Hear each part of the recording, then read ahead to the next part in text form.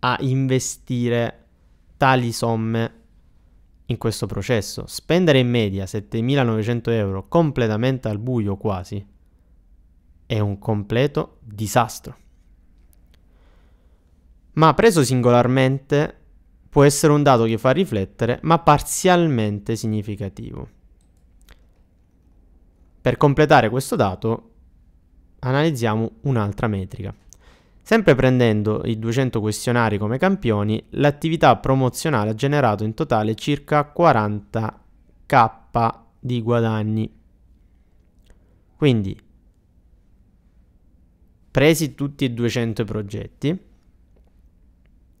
possiamo dire che partendo da un totale di 1.580.030 euro, di investimento in attività di promozione, c'è stato un ritorno complessivo di 40.000 euro. Quindi in pratica il 2%, cioè sulla somma totale investita è rientrato solo il 2%. Io mi fermerei già qui. Ok?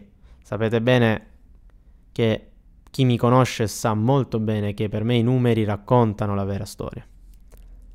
Perché poi il resto possono essere chiacchiere, ma il numero è freddo, lucido, ti dà una verità obiettiva. Ok? Non basta il numero, ma il numero deve essere una bussola. E i numeri in questo caso affermano banalmente che i processi di promozione musicale attuali non sono minimamente sostenibili. Ripeto, il 2%. Ok?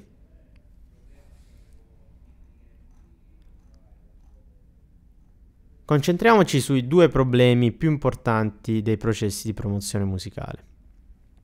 Il primo è relativo al quando è obbligatorio adottare un processo di promozione musicale, il secondo relativo agli obiettivi della promozione musicale.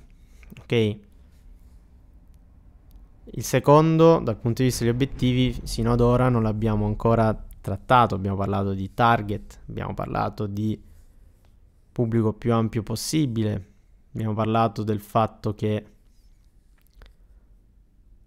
eh, la promozione musicale viene adottata solo da artisti, ma tutto ciò scatena anche il concetto di obiettivo di una promozione, cioè qual è il mio vero obiettivo e se l'obiettivo è raggiungere un pubblico più ampio possibile, no, la risposta è no punto, ok? L'evoluzione del business musicale negli ultimi decenni, in estrema sintesi, ha creato il seguente problema o opportunità, dipende sempre dagli angoli, no? dalle prospettive e dai punti di vista. È scomparsa quasi del tutto la figura del dipendente. Quindi, cosa succede? Che in passato un professionista del settore musicale con alte competenze e specializzazioni aveva la possibilità di avere dei contratti da dipendente con le imprese del settore musicale. Facciamo un esempio. Io magari sono un fonico ehm, molto specializzato dal punto di vista tecnico e le imprese, quindi un, un'etichetta ad esempio, aveva bisogno di una figura di fonico per tutta una serie di progetti da sviluppare negli anni.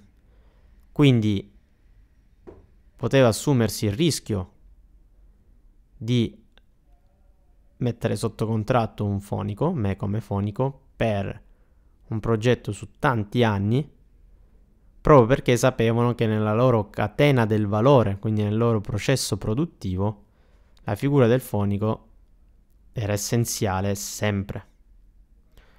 Poteva essere la stessa cosa per i musicisti, per arrangiatori, per produttori e così via, ok? Oggi semplicemente non esiste più l'impresa e il dipendente. Oggi tutti devono fare impresa nel settore musicale. Questa è una definizione che noi diciamo spesso, anche nei nostri video. Chiaramente qui entreremo più in profondità, quindi l'obiettivo del dizionario è poi entrare in profondità e capire come risolvere questo problema.